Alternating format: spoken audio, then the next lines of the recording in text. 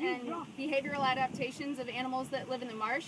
And Charlie was just talking about fishes. Can anybody, question up for grabs, if you're still my student, you get you get a homework pass next year. Can anyone think of name a fish that is either catadromous or anadromous, and can you say what those vocabulary words mean?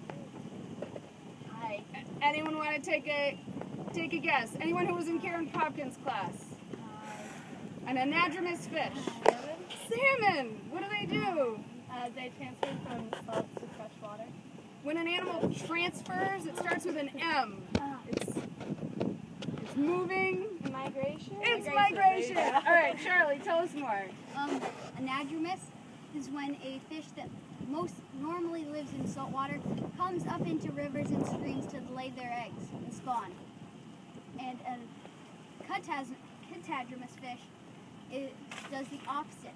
They live in fresh water and go out to the ocean to breed. Does anyone know Eli, James, Cade? The girls are are pulling a lot of this right now. Where do you go, Charlie? Name a fish, or maybe even a really long fish that doesn't look like a fish. That An is eel. catadromous. An eel. An American eel. You got it. Bonus points. Woo woo. Do I get a homework pass?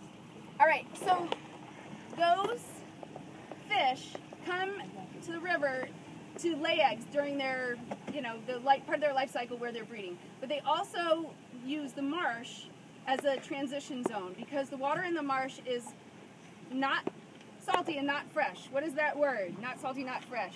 Brackish. Brackish. What did you say? Brackish. Brackish water. Yeah, brackish water. So the fish hang out in the brackish water in the marsh as they change. I don't know how they do it. I'm ready. I can't. You gotta shut it off, Caroline.